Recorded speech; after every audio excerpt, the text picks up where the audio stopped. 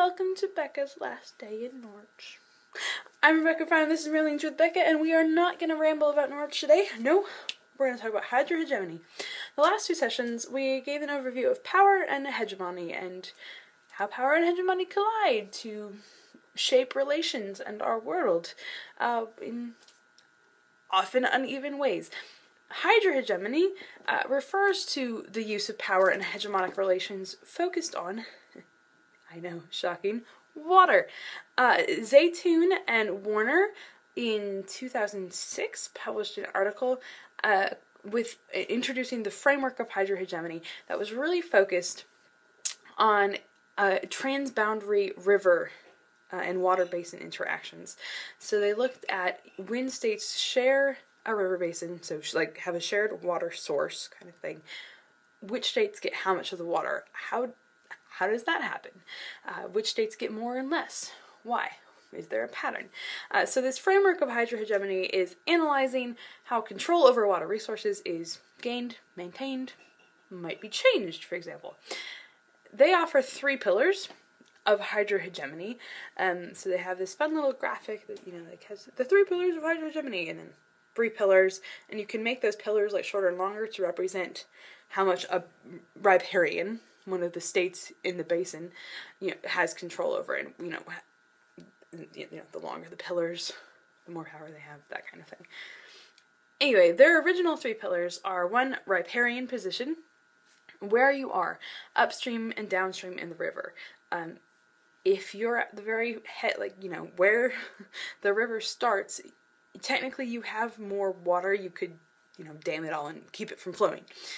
Uh, power is the second pillar, and they include all three kinds of power in that pillar. And then the third pillar of the original framework of hydrohegemony is the exploitation potential. Um, this is infrastructure, this is technical capacity. Um, so even if you're at the very top of a river, if you don't have the money or the know how or whatever to build dams, it's not going to help you very much. You can't actually dam it. So you don't just need the geography, you also need the exploitation potential. A few years later, in a follow up article, uh, Zeitoun and Cascão suggested a slightly revised framework of hydrohegemony, uh, in which they actually suggested four pillars and split out the three dimensional dimensions of power that we talked about a few days ago. Um, so now their revised framework of hydrohegemony has four pillars. One is geography, uh, so that's the riparian position, the upstream and downstream, but then also how much of the river basin you have, right? So you have like this much, and another country has this much. Even if they're downstream, you know, they have more places to build dams and that kind of thing. Um, so geography, and then the three pillars of power, uh, the material, bargaining, and ideational power.